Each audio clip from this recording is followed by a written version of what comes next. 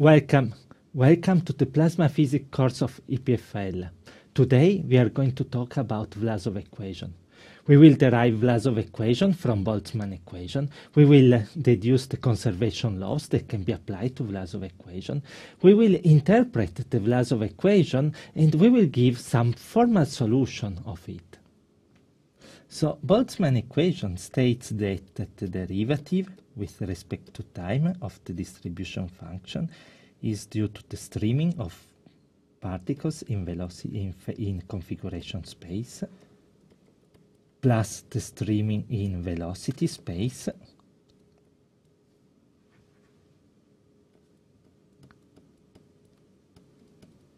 Due to the long range electric and magnetic forces and also taking into account the short range forces that are associated with collisions. Now, as we have seen, collisions can typically play a less crucial role in determining the dynamics of a plasma than the long range forces, and therefore, if, if collisions can be neglected, which is the case where the number of particles in a Debye cube is really, really large, larger than what is uh, required by the definition of a plasma, so large that uh, collisions can be completely neglected. Then we can set the collision operator to zero. We obtain therefore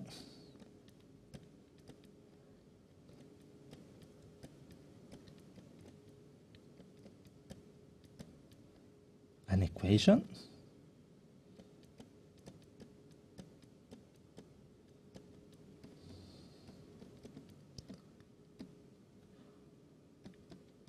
an equation that is called the Vlasov equation.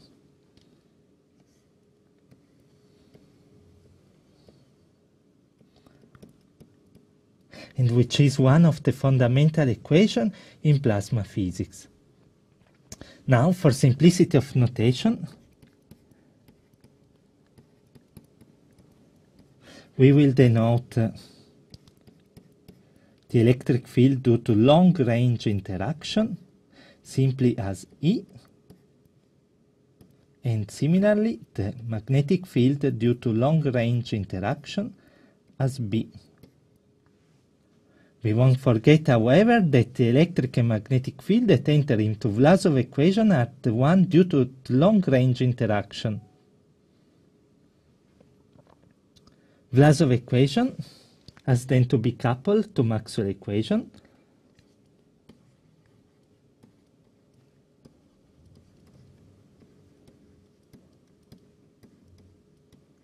And in fact, one can define the charge density, rho, as the sum over all species present in our system of qs, the charge of each particle, times the integral over the velocity space of fs r v nt. And similarly for the current density, we will have that J will be given by the sum over all species of the charge of each species times the integral of the velocity of the particle averaged according to their distribution. What are the properties of Vlasov equation? Let's give a look at the conservation properties of uh, for the distribution function as it's evolved by the Vlasov equation. Vlasov equation that we have just derived can be written as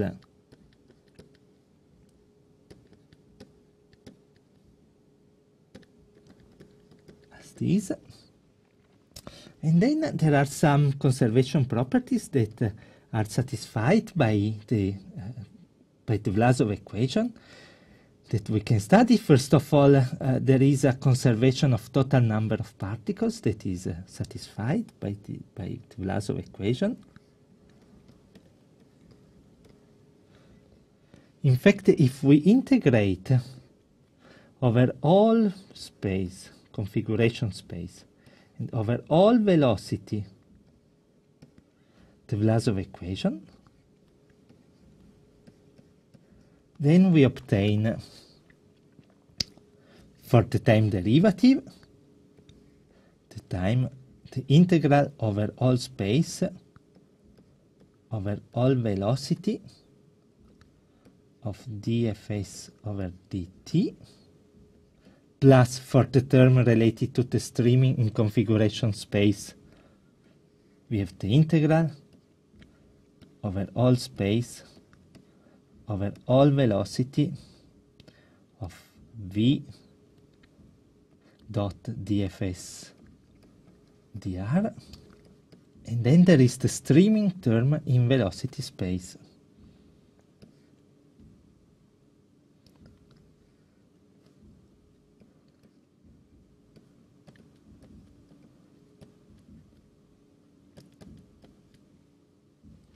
Now let's consider the three terms uh, here separately. Let's start from the first one. We can take out the time derivative from the two integral signs and we will have in fact that d over dt over first the configuration space and over the velocity space of fs this double integral actually is equal to the total number of particles and therefore this is equal to the time derivative of ns, the total number of particles ns. For what concerns the term related to the streaming in phase space?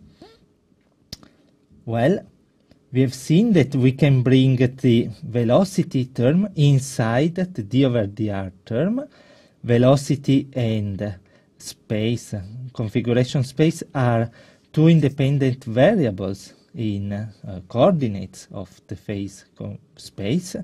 Therefore, this can be written as the integral over dr, then the integral over dv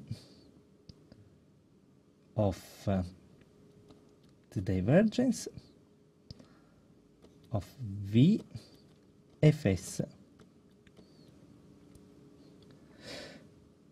Now we can use uh, the divergence theorem to carry out the integral over the configuration space and uh, well this integral will be reconducted to an integral over the surface that extends at infinity and if we assume that the distribution function once we go, we push our surface of uh, interest to infinity, decays to zero, then this integral will give, will be equal to zero. Finally, the integral related to the uh, streaming of particle in velocity space, and this will be given by the double integral over configuration space and velocity space of uh, now let me do it that immediately. We can bring, as we've seen, the first term inside the d over dv operator because E is independent of v and v cross b is perpendicular to v. Therefore, I can write this as the divergence in velocity space of qs ms e plus V cross B. And here, here we can again uh, use the divergence theorem to evaluate this uh, volume integral, a volume in velocity space, uh, as an integral over the surface that extend to infinity, and as there are there are no particles with which have an infinite velocity, the surface of uh, the surface integral of this uh, uh, term of this expression here will will be zero, and therefore the whole expression here will be equal to zero. Conclusion is that uh, one just one term survives, that is uh, dns over dt which is equal to 0. particles are conserved. Analogously, we won't prove it rigorously, but let me just mention that there is a Vlasov equation implies the conservation of momentum. In fact, if we considered total momentum of our system, that is equal to the sum of the momentum of the particles associated with particles plus the momentum of the field that is uh, for the particle for the momentum of particles equal to the sum over all species of uh, ms the integral over the full configuration space and the full velocity space of the momentum of the particles taking into account v according to their distribution, how they are distributed in phase space,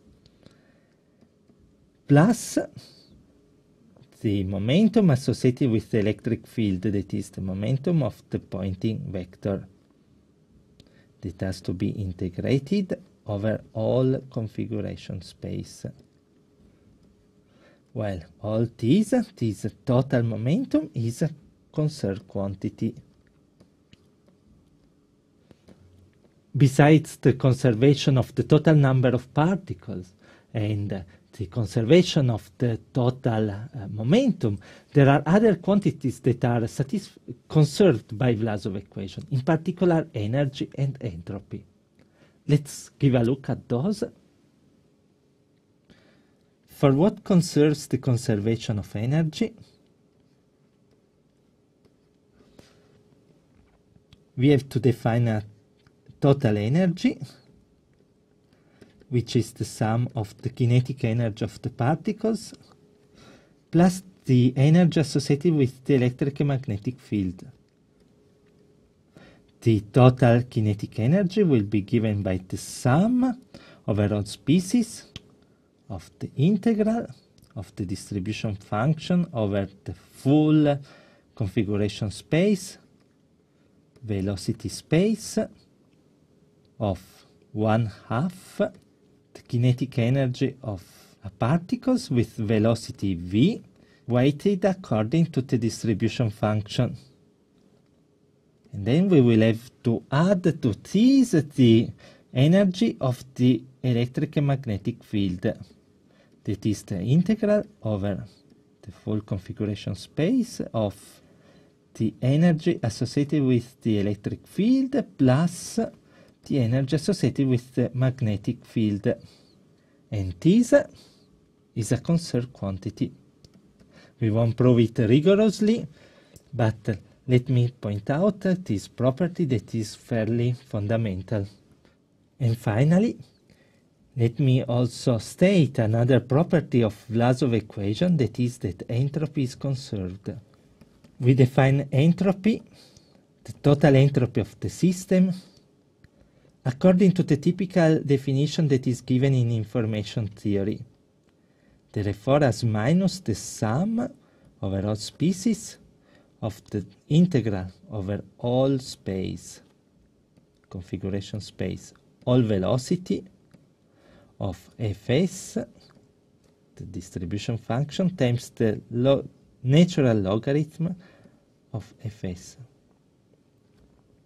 Now, we won't prove it uh, rigorously, but let me state that if we evaluate uh, the time derivative of this function with respect to time of the total entropy, which is uh, therefore if you take the derivative inside uh, the integral is uh, the time derivative of df s dt natural logarithm of the distribution function plus dfs dt well, if you carry out uh, this calculation, take into account that fs satisfies Vlasov equation, then what you find is that this ds dt is equal to 0.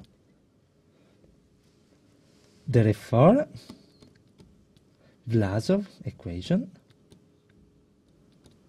describes time reversible processes.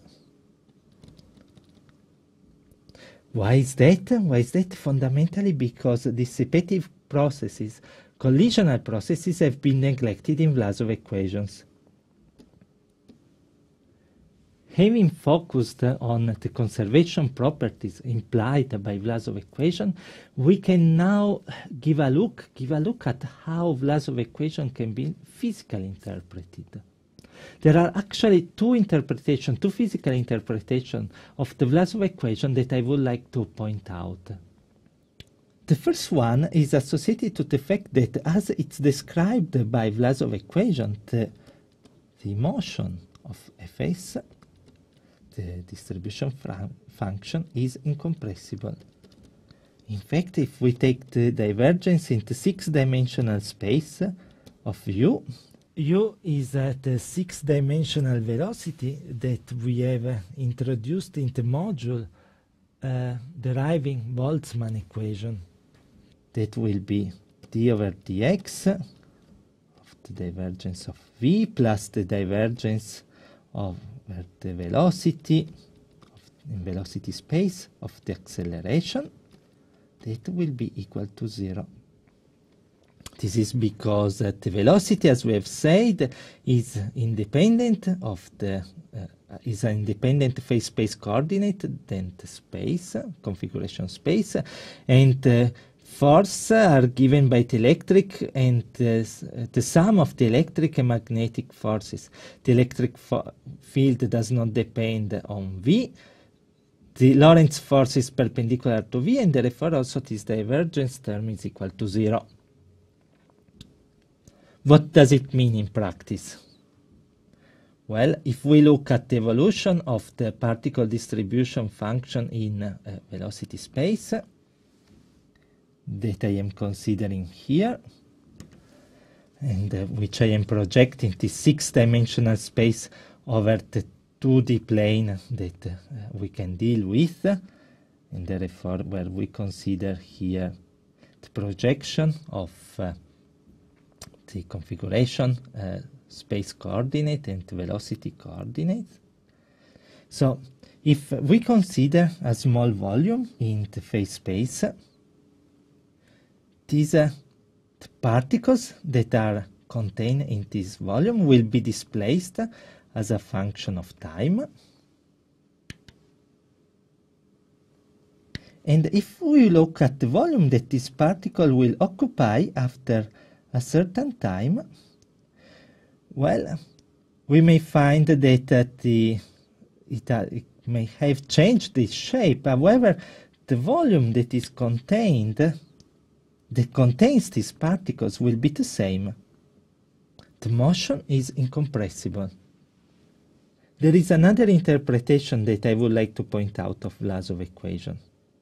And this, in order to obtain this, to look at this interpretation, what we have to do is to look at the variation of the distribution function along the particle orbit. More precisely, what we want to evaluate is the time derivative of the distribution function as seen by a particle traveling over its orbit.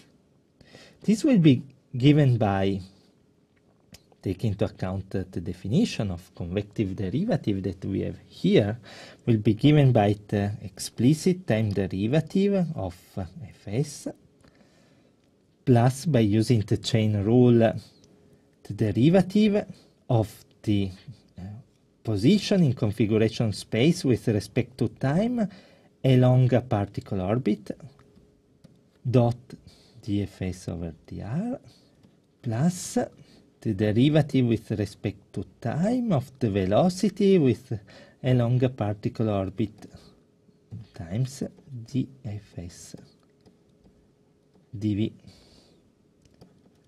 this is equal to, okay, we want to work on the explicit time derivative, that's fine as it is.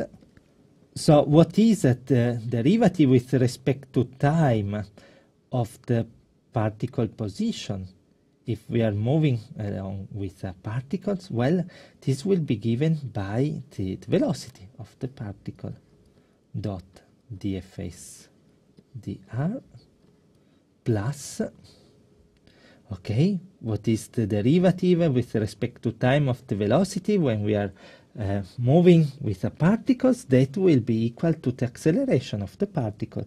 That is the force acting on the particle divided by ms, the mass dot dfs dv. This therefore will be equal to dfs dt plus v dot dfs dr plus we can explicitly write the first term that is given by the sum of the electric and magnetic forces and the interesting thing is that here, what you have obtained is actually Vlasov equation. And therefore, as Fs is uh, evolving according to Vlasov equation, this, uh, because of Vlasov, has to be equal to zero. What does it mean? It means that uh, according to Vlasov equation, Fs, the distribution function, as measured when moving along a particle trajectory is constant.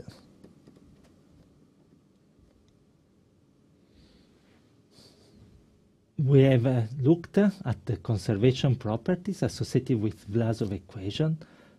We have looked at the possible interpretation of Vlasov equation now it's time to give a look if, uh, if there are a solution of Vlasov equation. Surprisingly, there are many, many solutions of Vlasov equation.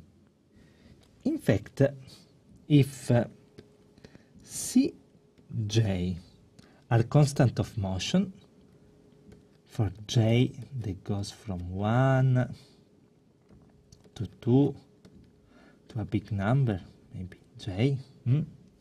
then uh, what I'm gonna show is that fs, a distribution function, that is a function of this cj, c1, c2, cn, cj, capital J, is a solution of Vlasov equation.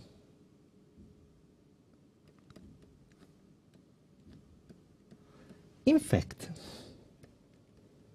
if we try to inject this distribution function into Vlasov equation, and therefore we evaluate uh, the time derivative of phase streaming in uh, phase in configuration space and in velocity space,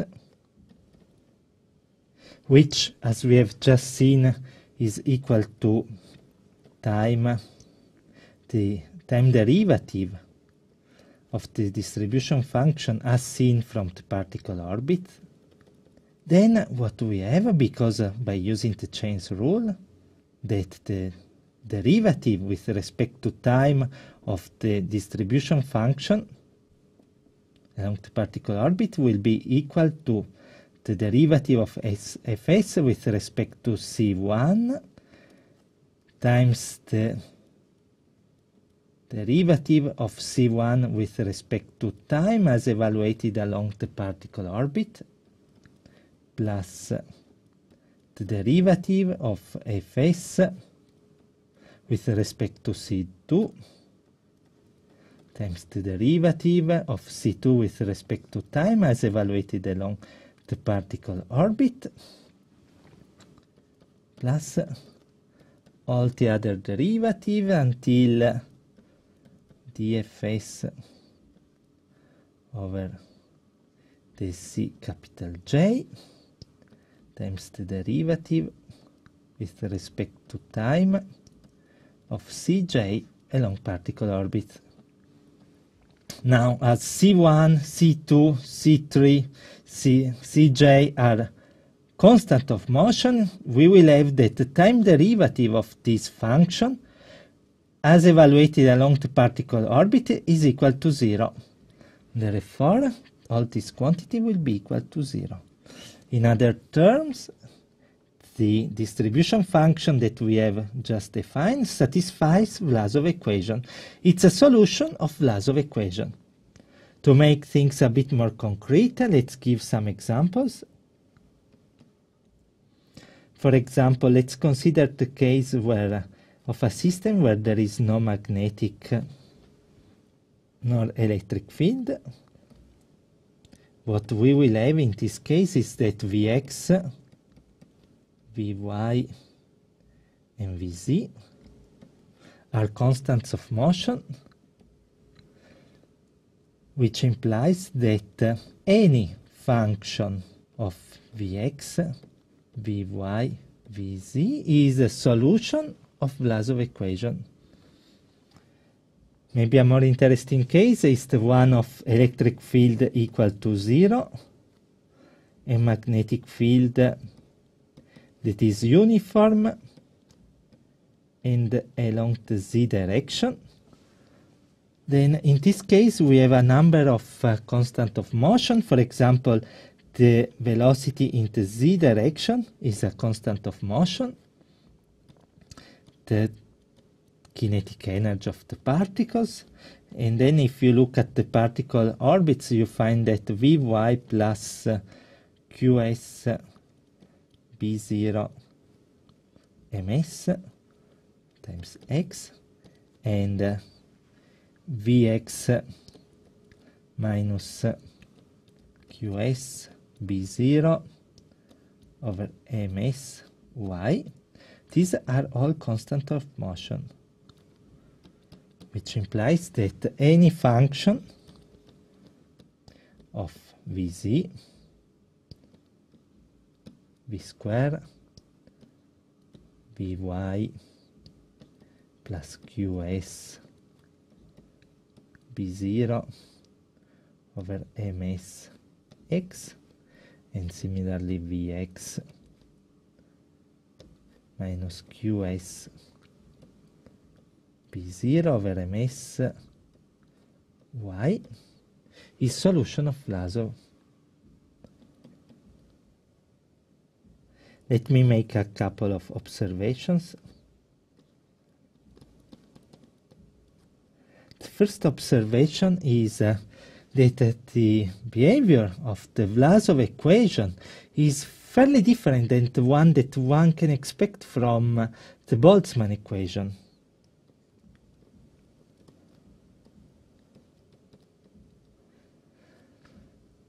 where because of the presence of collision in Boltzmann equation, we expect that uh,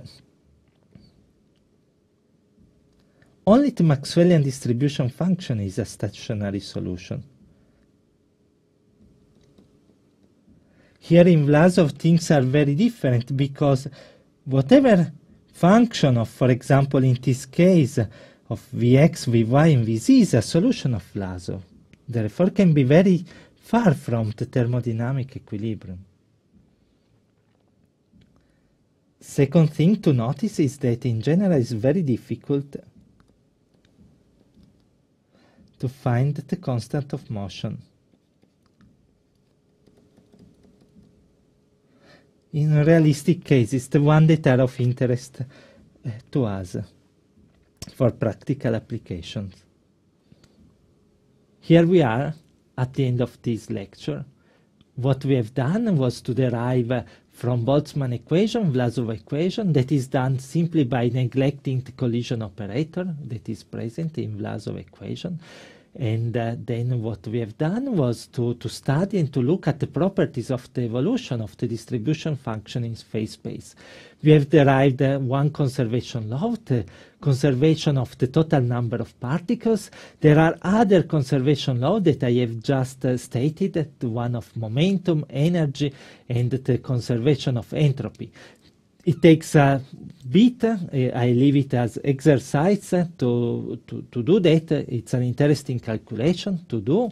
uh, by yourself if you would like. But uh, let me point out that that Vlasov equation has has these nice properties. And then what we have done is to provide some in new interpretation, some interpretation of the Vlasov equation, which have actually allow us to do to find the formal solution of uh, of Vlasov equation. Unfortunately, formal solution don't work in uh, the case of practical interest, and therefore one has to to solve a Vlasov equation or in general kinetic equation uh, by using a numerical approach.